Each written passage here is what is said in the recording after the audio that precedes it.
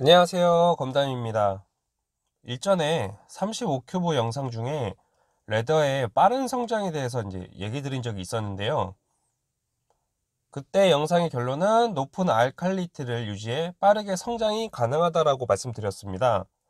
그래서 이번 편은 레더의 빠른 성장을 위해 몇 가지 조건에 대해서 얘기해 보려고 합니다 레더의 빠른 성장은 이제 6가지 정도만 유지해 주면 빠르게 성장이 가능합니다.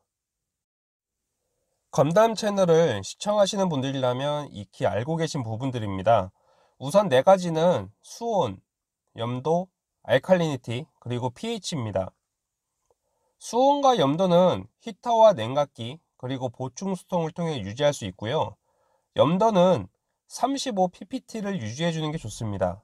비중으로 보통 1.024냐, 1.025냐라고 여쭤보시는 분들이 계신데, 사실 비중은 온도에 따라서 차이가 많이 나기 때문에 비중으로 측정하기는 어렵습니다. 그럼에도 불구하고 비중이라고 말씀을 드리자면 1.025나 1.026 정도로 유지하시면 됩니다. 그 다음 알칼리니티인데 알칼리니티는 아시다시피 베이킹 소다나 빌더를 통해 상승할 수 있고 유지하기 위해서는 도진기나 칼슘 리액터가 필요합니다.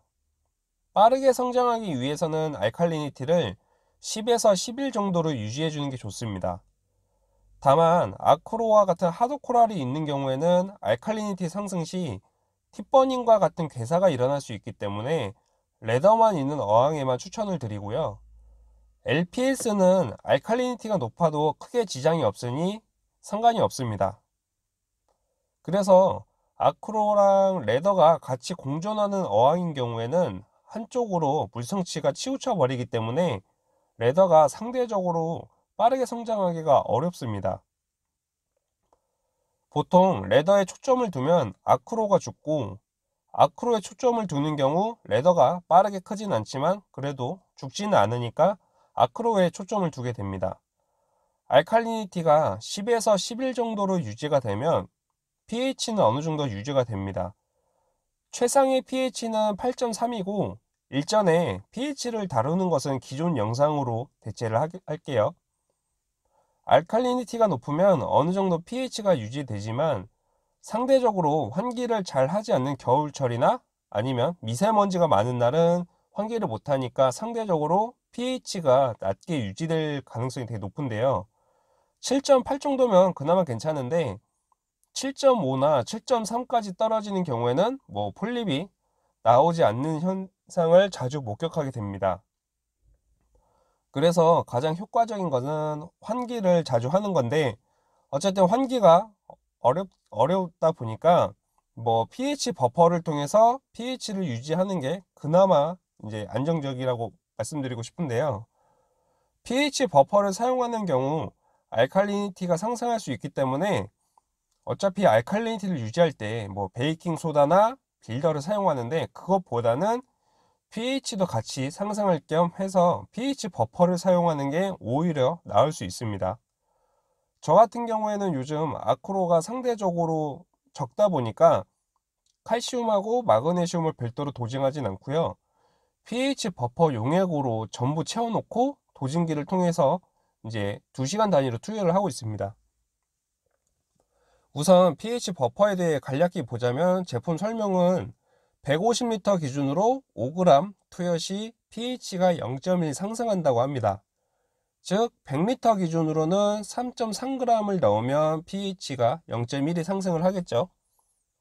계산하기 어려우시면 우선 5g만 넣으시고 pH가 실시간으로 상승하는 값을 보셔도 됩니다. pH가 0.1 정도 상승하는 것은 어차피 산호에 큰 영향이 없기 때문에 괜찮습니다. 그런데 만약에 35큐브 같은 이제 100리터가 안 되는 어항 같은 경우에도 어, 5g을 넣어도 크게 상관은 없어요. 어차피 뛰어봤자 0.3 정도 오르기 때문에 괜찮습니다. 저의 어항 같은 경우에는 물량이 한 7, 80리터 정도 되기 때문에 5g 투여 시 pH가 0.2 정도 상승합니다. 이 상태에서 도진기에 연결하기 위해서는 이제 어느 정도 비례식이 필요하겠죠. 5g 투여 시 pH가 0.2 상승하니까 1리터 RODI물에 버퍼 5g을 투여하고 1리터를 전부 부으면 역시 똑같이 0.2가 상승하겠죠. 그러면 같은 의미로 버퍼를 10배 정도로 이제 상승시켜서 50g을 투여하고 1리터를 전부 넣으면 pH 역시 10배가 상승한 pH가 2 정도 상승을 하겠죠. 그럼 여기서 1리터를 전부 넣지 않고 한 10분의 1인 100ml만 넣으면 pH는 0.2가 상승하겠죠. 그러면 하루에 10번 정도 나누어서 10ml씩 이제 10번을 넣으면 아까처럼 총 100ml가 들어가는 거고 하루 동안 총 pH는 0.2가 상승합니다. 이런 식으로 자신의 어항 스펙에 맞게 비례식을 세워서 계산하시면 됩니다. 그럼 이제 알칼리니티랑 pH 얘기를 했으니까 앞서 6가지 중 나머지 두 가지인 질산염하고 인산염에 대한 얘기입니다. 레더 어항 같은 경우에는 질산염이 한 10ppm 그리고 인산염은 0.08에서 0.1 ppm을 유지하는 게 좋습니다. 여기서 질산염은 10ppm이라고 말씀드리긴 했는데 2ppm이든 5ppm이든 어느 정도 질산염이 있으면 됐고 어쨌든 가장 중요한 거는 인산염인데요. 인산염은 0이 아니라 0.08에서 0.1 ppm을 유지할 수 있도록 신경 써주는 걸 가장 중요하다, 중요하다라고 이제 말씀드리고 싶습니다. 인산염이 0이 되면 산호 성장이 저해되고 성장이 멈출 가능성이 매우 높아져요. 인산염을 증가시키는 방법은 브라이트웰 제품에 네오포스가 있긴 한데 이거는 뭐 아크로나 아니면 빈 영양 상태에서 뭐 발색을 위해서 사용을 하는 이런 전문가용이기 때문에 추천을 드리진 않습니다. 그래서 추천드리는 제품은 Polyplab 제품의 Poly Booster라고 있는데요. Poly Booster에는 인산염이 함유되어 있고 산호의 먹이로 사용되는 제품입니다. 스포이드로 첨가할 수 있기 때문에 조절도 이제 용이하고요. 물성치 swing폭이 없다면은 이제 leather의 상태를 지켜봐야 합니다. 우선 첫 번째로 leather의 코팅인데요.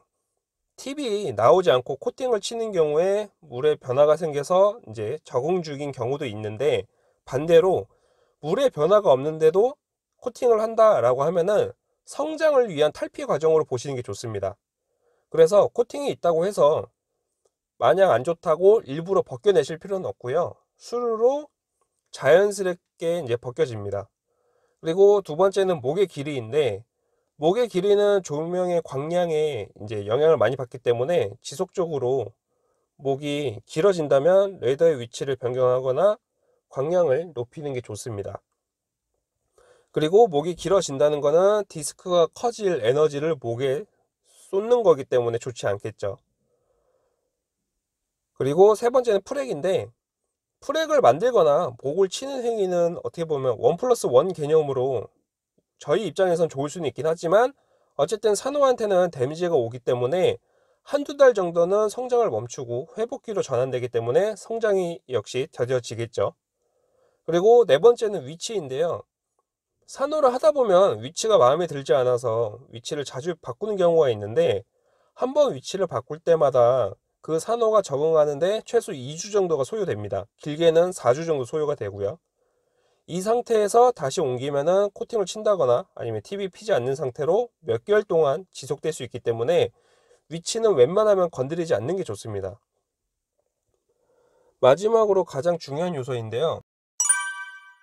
이 요소는 절대적으로 지켜야 되고 거의 불변의 진리라고 말씀드리고 싶을 정도로 매우 중요한데 바로 사람입니다. 레더뿐만 아니라 아크로의 성장도 마찬가지인데 가장 중요한 거는 그 어항을 운영하는 리퍼가 한가해지면 안 돼요. 대부분 이제 주말 같은 경우에는 한가해지다 보니까 어항을 계속 쳐다보면 아, 왠지 저것도 건드리고 싶고, 이것도 왠지 넣고 싶고, 저것도 뭔가 세팅을 하고 싶고, 뭔가를 계속 넣어보고 싶고, 하더라도 한두, 한두 방만 넣으면 되는데 효과가 없을 것 같으니까 막 들이붙는 경우도 덜어 있습니다. 그렇기 때문에 리퍼는 회사 업무이든 간에 아니면 다른 취미 활동이든 어항이 아닌 다른 곳에서 바쁘게 움직이고 어항은 쳐다보다가 물성치를 유지하는 측면만 관리하는 게 가장 좋습니다. 무언가 행동을 하지 마시고 지켜보는 게 가장 중요해요. 그리고 매일매일 어항을 보고 있으면 당연히 성장하는 게 느껴지지 않기 때문에 사진이든 동영상이든 주간 단위로 촬영을 하고 1개월 뒤에 보면은 언제 이렇게 컸는지 모를 정도로 빠르게 성장한 모습을 볼 수 있습니다. 저도 역시 과거의 사진을 통해서 레더의 성장을 가늠할 수 있었고요. 최근 알칼리니티와 pH를 중점적으로 보고 있습니다. 아무래도 제 어항에 들어있는 레더 사이즈가 좀 크다 보니까 풀액에 비해서 성장되는 게 체감되지는 잘 안 되긴 하지만 어쨌든 저도 촬영을 해서 몇 개월 뒤에 성장한 모습을 따로 이제 업로드를 할 예정입니다. 아, 그리고 하나 더 말씀을 안 드렸는데 산호를 구매할 때는 frag으로 구매하는 거는 좀 좋진 않아요. frag이 상대적으로 저렴하다 보니까 아무래도 쉽게 구매는 가능한데 culture급으로 성장하는데 시간이 꽤 오래 걸립니다. 과거에 뭐 Fritz 제품처럼 시간을 돈으로 사는 개념으로 본다면 culture급으로 구매하시는 게 성장 측면에서 오히려 낫습니다. 예를 들어서 frag에서 culture급으로 크는데 6개월 걸린다고 쳤을 때 culture에서 떡대 수준으로 크는 건 6개월도 안 걸려요. 상대적으로 frag에서 크는 게 오래 걸리기 때문에 frag과 culture 금액이 뭐 두 배 정도 차이가 나고 named, named leather가 아니면 웬만하면 culture 사이즈의 leather를 구매하시는 게 좋습니다. 그리고 그 프렉 같은 경우에는 또 단점이 물, 물성치가 작은 수입만 와도 괴사하거나 아니면 코팅치거나 뭐 별의별 질병이 걸리기가 너무 쉽기 때문에 좋지도 않고 역시 이거는 아크로도 마찬가지예요. 어찌 보면 당연한 얘기를 했고 비법이라고 이제 기대하고 보신 분들은 실망하셨을 수도 있지만 해수 역사 기준으로는 항상성이 가장 중요하게 자리 잡고 있습니다. 뭐 미래에는 우리가 알던 사실이 틀리고 전혀 예상하지 못한 방법으로 빠르게 성장할 수 있는 방법이 제시될 수는 있겠지만 아직까지는 항상성이 중요하니까 기본을 유지하시고 절제를 지키시면 어항을 가득 메울 크기로 성장한 레더를 보실 수 있게 됩니다. 감사합니다.